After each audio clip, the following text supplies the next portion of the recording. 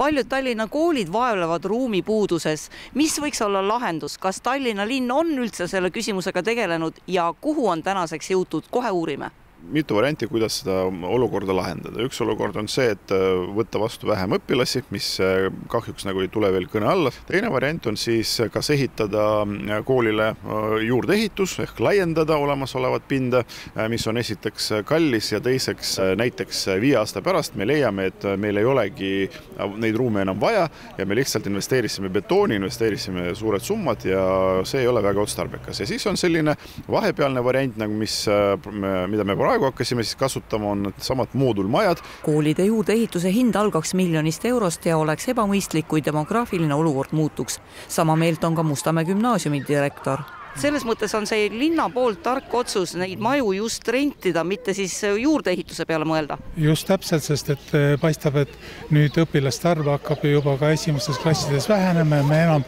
nelja paralleeliga ei pea võtma õpilasi vastu esimesse klassi ja seetõttu õpilaste arv teatud aastate jooksul läheb väiksemaks ja meil tõenäoliselt võib-olla mõne aja pärast ei olegi vaja neid ruume enam. on aeg vaadata ka moodulmajja sisse, seda me teeme kohe Nõmme põhikooli direktori Hardi Pauli abiga, lähme. Lähme see on nüüd see suurem klassiruum, eks? see on üks kahest suurest kahekümne neljale lapsele mõeldud äh, klassiruum ja siin siis äh, esialgu on õppetöö nagu niimoodi, kuidas öelda, ilmselt siin tuleb veel ümber paigutada neid laudu, toole, aga kõik on olemas, õpetajatool, õpetajalaud. no aga vaatame veel edasi, siin on nüüd üks pisikene klassiruum, siin saab käsi pesta.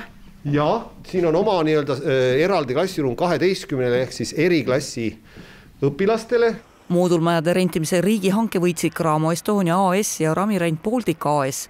moodulmajade rentimise kogumaksumus viie aasta peale on üks koma kuuskümmend üheksa miljonit eurot